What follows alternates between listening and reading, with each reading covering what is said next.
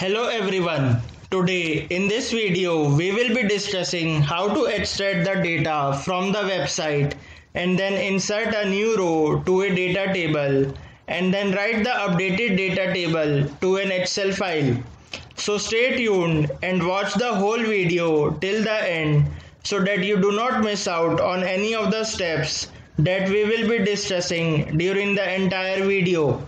And if you haven't subscribed to my YouTube channel, then please subscribe to my YouTube channel and hit the notification icon to receive all the latest updates. So without any further delay, let us start our discussion for today.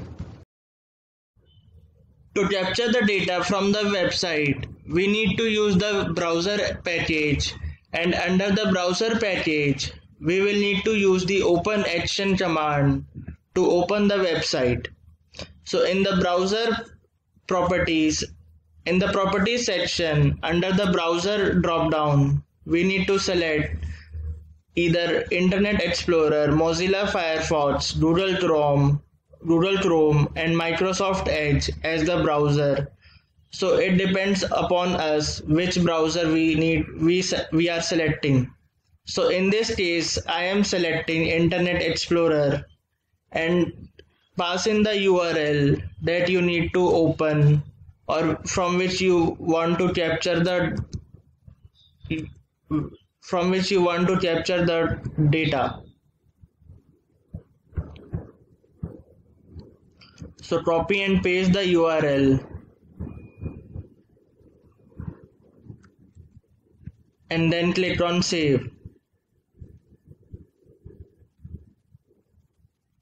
Once we once we have used the open action now we will use the universal recorder to capture the table from the website. So click on start recording and then use the and then select the window from which you want to capture the data and then click on universal recorder and then capture the table from the website once you have captured the table from the website, click on finish. So it will capture the table. Now in the properties section under the action drop down, select the action that you want to perform. So in this case, we want to get the table. So click on get table action and create a data table and create a variable of type table. So we are giving the table name as V table or we can give the name as V data table.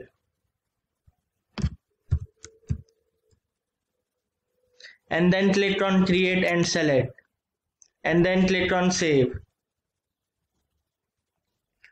Now we will use now we need to use the now we need to get the total number of rows in the table. So before we get the total number of rows, first of all we need to insert a new row to this data table variable that we have created. So to insert a new row to a data table, go to the data table patch action and then click on and or drag and drop the insert row action. So insert row action will insert a new row to the data table variable that we have already created.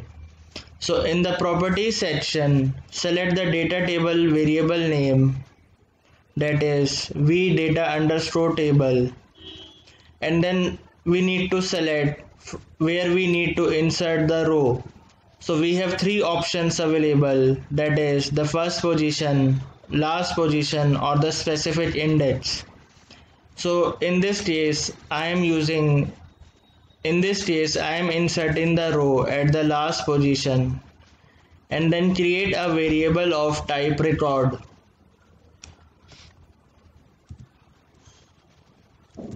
So give the name of the variable as per your choice. So I am giving as v new underscore record and then click on create and select and then click on save. So now we will set the value of the new row that we have inserted. So as we know that there are three columns in the data table. So we will insert the value of all the three columns that we have. So before that we will assign the value to the three variables or the three columns that we have. So first of all the, the the columns that we have in the table are dot size and breed. So now first of all we will set the value of dot. So the to set the value of dot column we will use the string assign command and set the value that is we have set the value as Bruno. And we will select the variable that we have created of string data type that is v dot. Once we assign the value then we will click on save. Now to set the value of a data table new, new row that we have inserted. So we will drag and drop the set value of single cell action from the data table package. And in the data table name we will select the data table variable that we have created. In the row by index we can give the we we will select the record variable that is v new record and pass in the name of the column and in the column by we will select the name. You can select the index as well. So in the name select the select the column name that is dot. And in the set value of table cell we will set we will select the v dot variable that we have created. So similarly we will set the value of other two variables or columns that is size and breed. So we will copy the string assign command. And then in the size we can give the value as small. And in the destination variable string variable we will create the variable as v size of string data type. And then click on create and select and then we will click on save. And in the last column value that is breed we will set the value as German Shepherd. And in the de string destination string variable we will create the variable called vbreed and then click on create and select and then click on save. So similarly, we will copy the set value of single cell command.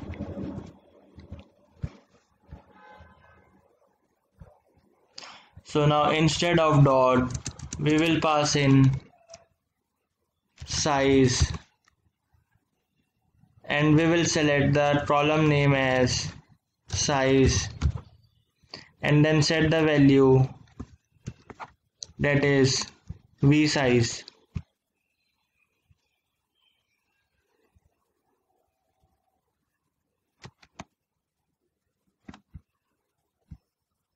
And then click on yes insert. And then click on save. So similarly for breed we will select instead of dot we will give in breed. And in the column by name we will select the breed column and then in the set value we will select v breed and then click on yes insert. And then lastly we will click on save. Now we will run the bot. So before running the bot we will close the internet explorer. Now we to run the bot click on run run button so as we can see the bot has run successfully. So this is how we can insert our Insert a row and the value to the data table using A2019 automation anywhere. Now to write the data into the Excel file, we will first need to open the Excel file. That is we will we will use the Excel advanced package action and under that we will use we will drag and drop the open action command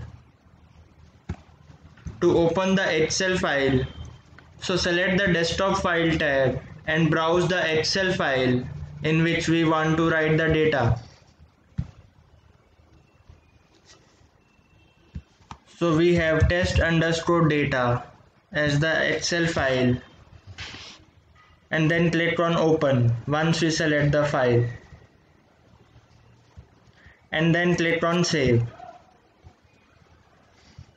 Now to write the data into the Excel file, we will use the loop command or the loop package.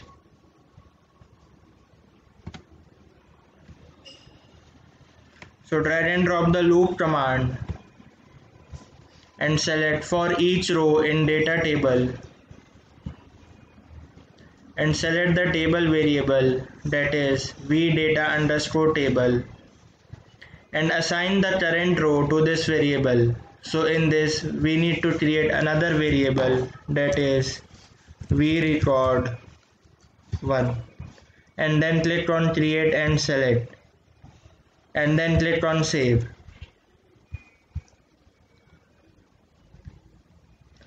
Now again go to the excel file that is Excel advanced package and drag and drop the set cell command. And in the cell value first of all select the specific cell.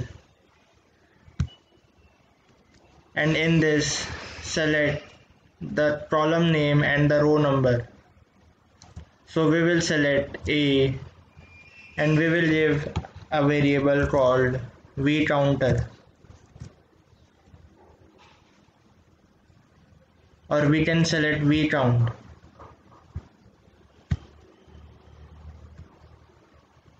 and in the cell value we will give the variable vrecord 1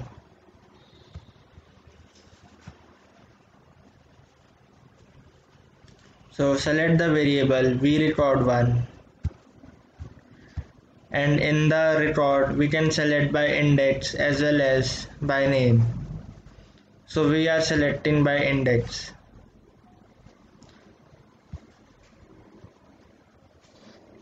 And then click on save.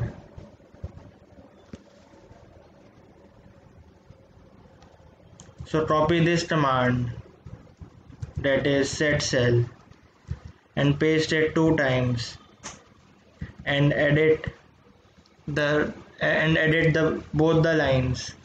That is change the column name. And the column index. And then click on save.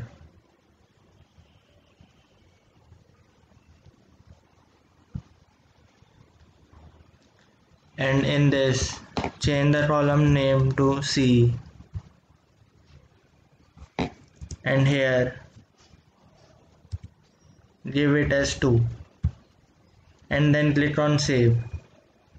Last but not the least we will use the close command to close the excel file.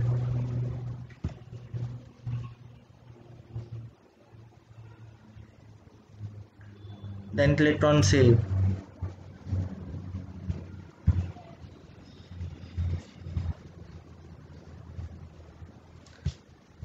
since we need to use this close command outside the loop. So drag and drop the close command outside of the loop command and then click on save. So now we will run the bot. So now we will run the bot. To run the bot we need to click on the run button so once you click on run button, the bot will be deployed on the system on which the bot is running. And all the preloaded packages or all the packages that we have used in our code will be downloaded or will be preloaded.